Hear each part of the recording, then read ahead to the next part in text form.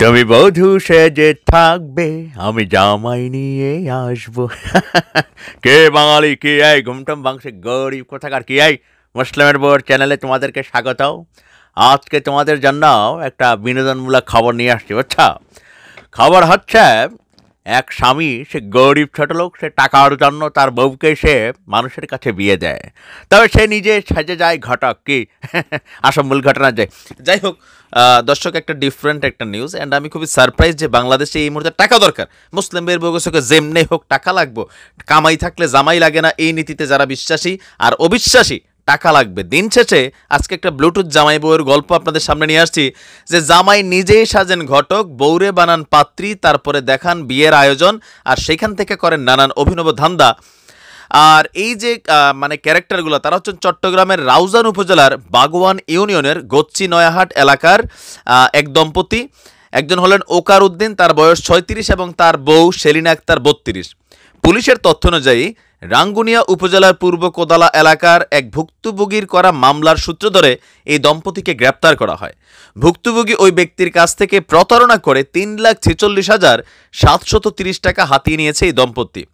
Raozan Rangunia police circle সূত্র অনুযায়ী গ্রেপ্তার স্বামী স্ত্রী সহ একটি সংঘবদ্ধ প্রতারক চক্র দীর্ঘদিন ধরে বিয়ে দেওয়ার নাম করে বিভিন্ন ব্যক্তির কাছ থেকে টাকা হাতিয়ে নিচ্ছিল। গ্রেপ্তারের পর জিজ্ঞাসাবাদে দুজনে এই কথা স্বীকার করছে। পুলিশের জিজ্ঞাসাবাদে তারা তাদের কৌশলটা যেটা বলেন, সেটা হচ্ছে পরিকল্পনা অনুযায়ী প্রথমে স্বামী ওকারুদ্দিন এক সহযোগীকে নিয়ে বিভিন্ন এলাকায় ঘুরে বিচ্ছেদ হয়েছে বা স্ত্রী মারা গেছেন এমন বিত্তশালী লোকদের সন্ধান করতেন। তারপর কৌশলে তাদের সঙ্গে পরিচিত হয়ে সুন্দরী পাত্রী খোঁজ করে দেওয়ার কথা বলতেন। তারপর ওই ব্যক্তিদের কাছে পছন্দ করা পাত্রীর পরিচয় দিয়ে কল করতেন ওকাল উদ- ওকারউদ্দিনের স্ত্রী সেলিনা। দু একদিন কথা চালিয়ে যাওয়ার পর সেলিনা মোটোফোনে কিংবা আপনার চিকিৎসার কথা বলে অথবা বিভিন্ন সময় প্রয়োজনের কথা বলে মোটা অঙ্কের টাকা হাতিয়ে নেন। এরপর অন্তরঙ্গ আলাপের রেকর্ড শুনিয়ে, যখনই যে কথা বলতেন, দুজনের মধ্যে হালকা ব্লুটুথ কথাবার্তা হইতো, সেইগুলাকে কৌশলে সেলিনা রেকর্ড করে রাখতো। আর সেইখান থেকেই পরবর্তী সময় তাদেরকে আপনার ব্ল্যাকমেলিং করা হতো আর মোটা অঙ্কের টাকা লুইটা পুইটা নিত।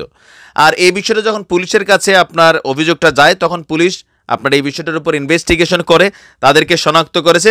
অভিযানের নেতৃত্বে থাকা চট্টগ্রাম রাউজান রাঙ্গুনিয়া সার্কেলের সহকারী police super ASP Mohammad Anwar Hossain বলেন, একটি মামলার বিষয় আমাদের কাছে এসেছিল। সেখান থেকে আমরা শুনতে পারি যে বেশ কয়েকজন মানুষ একই সিস্টেমে প্রতারিত হচ্ছেন।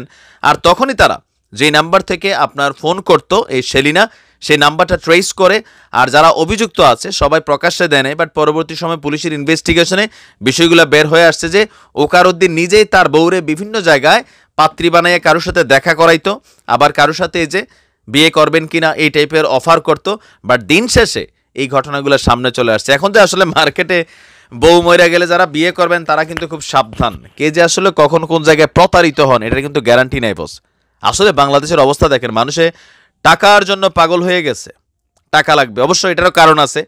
কারণ গরিব মানুষের জন্য বাংলাদেশের জীবনযাত্রা, আজকে দেখেন যে সকল কিছুতে আমরা বড় একটা কঠিন সিচুয়েশন ফেস করছি। আর যারা বড় লোক, এদের জন্য দেশে দুর্ভিক্ষ থাকুক করোনা থাকুক লকডাউন থাকুক, কিচ্ছুই যায় আসে না পরিমণির মতন মেয়েরা। তারাও মনে করলেন যে দিনের রাতে সার্ভিং দিচ্ছে, টাকা পয়সা কামাই করতেছে। ভাই, খেলা আর খেলা। এই কারণে হয়তো গরিব ও কারুদ্দিন আর সেরিনা বেগম ছেড়া দিয়েন। গরিব মানুষ তো বড় লোকদের সম্পত্তি লুটছে তারপর অপরাধ হালকা জেলটেল দিয়ে ছেড়া দিয়েন স্যার, গরিব মানুষ।